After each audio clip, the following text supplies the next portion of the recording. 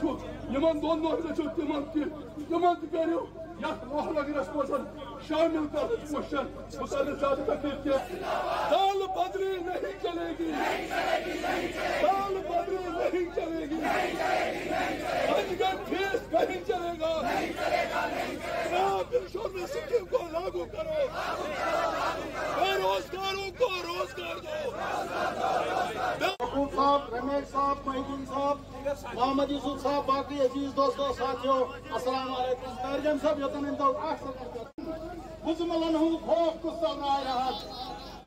Message क्या है? हम जेल कादूबंद जबर तशद नहीं चाहते। ये मैसेज है सईद शमनान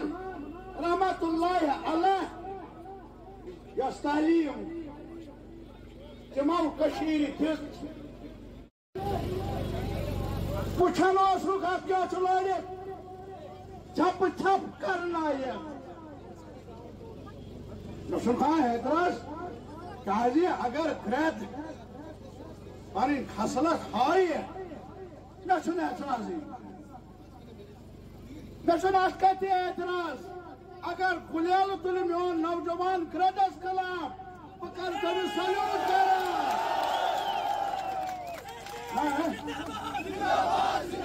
अजिब दह यूत मे ताकत ये मंत्री तक बाकी जान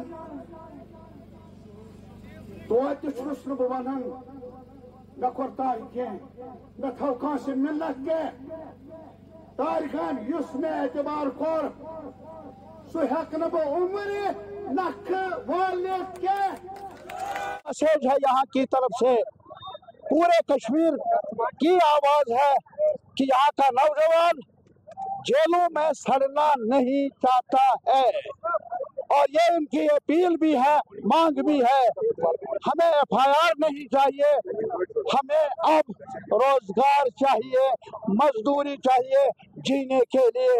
यहाँ की मैसेज ये भी है, सरकार को ये कारवान आगे बढ़ेगा।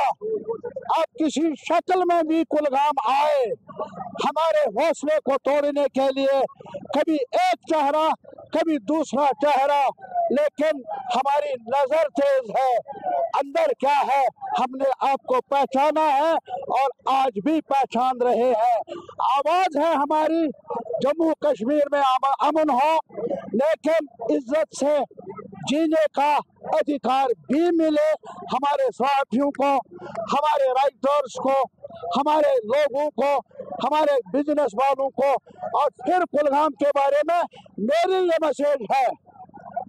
कुलगाम ने तरक्की की है, लेकिन हमें और करना है टूरिज़्म को डेवलप करना है इस ज़िले में, और इसके अलावा यहाँ और इंफ्रास्ट्रक्चर चाहिए टेक्निकल कॉलेज चाहिए फॉर वुमेन और इसके साथ ही स्टेडियम चाहिए। और बाकी मामला में भी यहाँ सूरत से काम होना चाहिए।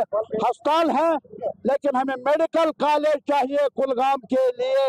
ये हमारे लोगों की मांग है और मुझे उम्मीद है और फिर प्रेस के लिए प्रेस क्लब भी चाहिए। ये भी हमारी मांग है। आगे बढ़ेंगे। आपके साथ, अपने अवाम के साथ हमें उम्मीद है अठारह तारीख बड़ी खबर लेकर आएगा। खुशी खबर लाए, लाएगा। ये हमें तो है ये हमें उम्मीद अठारह तारीख को यहाँ कुलगाम के लिए भी वोट डाले जाएँगे। असम्बली इंतबात की अगर हम बात करें जम्मू कश्मीर में असम्बली इंतबात जो है इसमें काफ़ी गामा गामी देखने को मिल रही है। कुलगाम की बात करें तो कुलगाम में भी मुकाबला सख्त है। आज सीपीआईएम के सीनियर लीडर जो हैं और उम्मीदवार बराई हल्का इंतखब कुलगाम मोहम्मद यूसुफ तारिगामी ने यहाँ कुलगाम के बस स्टैंड से आवाम को खिताब किया और उन्हें कहा कि आने वाला वक्त जो है वो नौजवानों का है, यहाँ के किसानों का है। और उन्होंने कहा कि 18 सितंबर को सभी लोगों को बाहर निकलना चाहिए, अपने हक की राय का इस्तेमाल करना चाहिए और सही और गलत का फैसला करना चाहिए। ज़ोर न्यूज़ एटीन नेटवर्क, कुलगाम।